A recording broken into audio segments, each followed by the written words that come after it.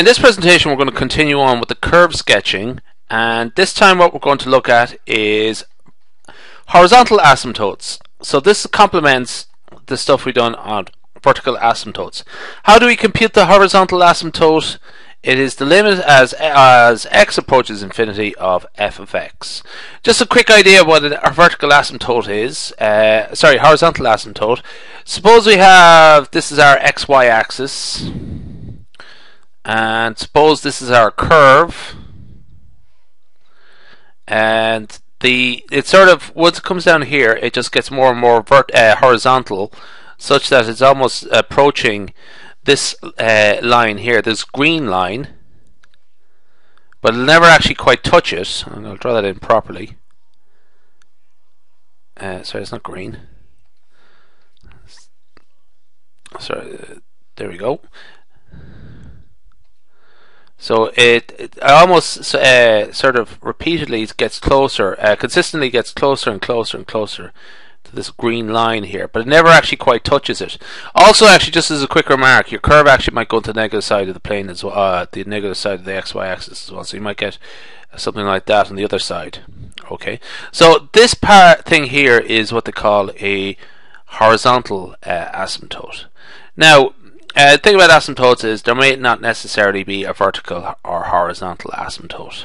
Okay, it might be infinity or something like that, so it's just not really uh, pr uh, practical to think about it. Or so uh, let's do a few examples here. So this is one we looked at it earlier in the previous video.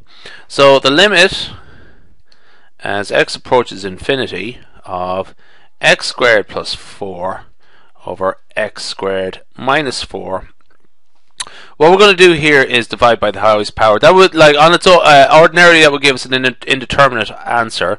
So we'll go to the highest power and divide through that. Highest power here is x squared. So x squared over x squared plus 4 over x squared x squared over x squared minus 4 over x squared. That goes to 0. That goes to 0 that becomes 1. Uh, x squared over x squared, that becomes 1.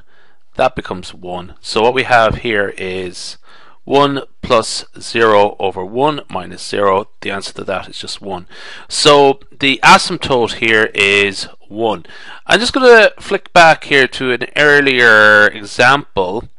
And this is just something from, this is that graph, okay? This is the that is the f of x equals x squared minus or plus 4 over x squared minus 4 that's what we're looking at here. And I've drawn in there the red in red we have the, the the curve and in green and black we have the asymptote the the hor- the, vert, the vertical asymptotes. What I'm going to draw in here in magenta is the horizontal asymptote. That's it there not particularly well sketched there, but there you go. So the um, yeah, essentially as it goes as x goes to minus infinity and plus infinity, it just the curve gets closer and closer to the asymptotes. Okay. Uh, okay, so let's go back here now. Uh, second example x over x squared minus 9. Let's get the vertical as uh, the horizontal asymptotes of that. Limit as x goes to infinity of x over x squared minus 9. Uh, again, we use the same sort of technique. Divide down by the highest power. Limit uh, x approaches infinity of x over x squared, x squared being the highest power, x squared over x squared minus 9 over x squared. Um, x over x squared, that becomes uh, 1 over x and 1 over infinity when we evaluate it, that's just going to be 0. Likewise, that's going to be 0. And x squared over x squared, that'll become 1. So what we have here is 0 over 1 minus 0, and that answer is 0. So the asymptote, the horizontal asymptote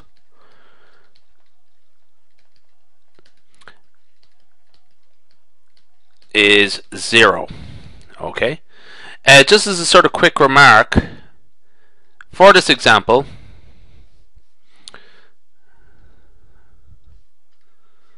Hang on a second. For this example, vertical asymptotes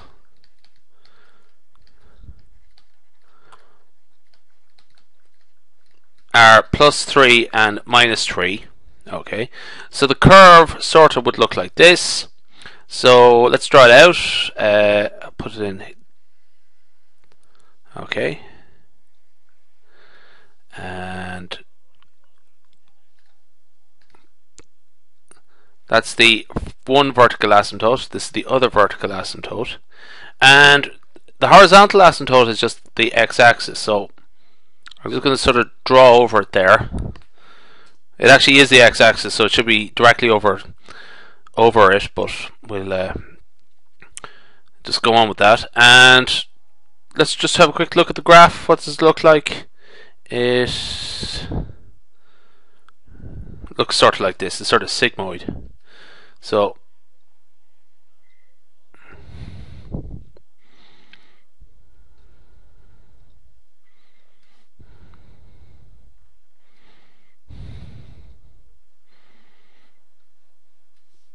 and here it goes like this.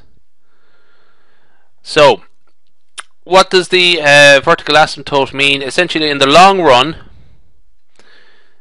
out here, the curve here is just going to get closer and closer to the uh, x-axis, or here the asymptote, and likewise out here, x the, the curve is just going to get closer and closer to the x-axis. Okay, in the middle, it we're looking, it does actually cross the x-axis, but that, we're not really particularly concerned about that.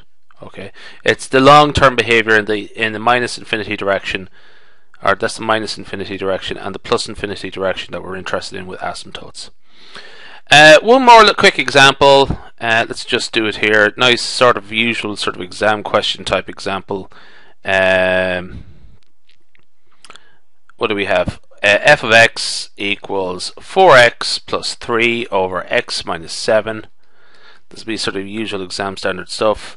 Divide down by the highest power, limit of that. Limit as x approaches infinity of 4x plus 3 over x minus 7. Highest power is x, so we have 4 uh, plus 3 over x, uh, 1 minus 7 over x uh, they become 0. So we have 4 plus 0 over 1 minus 0, and that just works it before. Okay. And there, the horizontal, the vertical asymptote would be x minus 7, so it would be 7. Okay,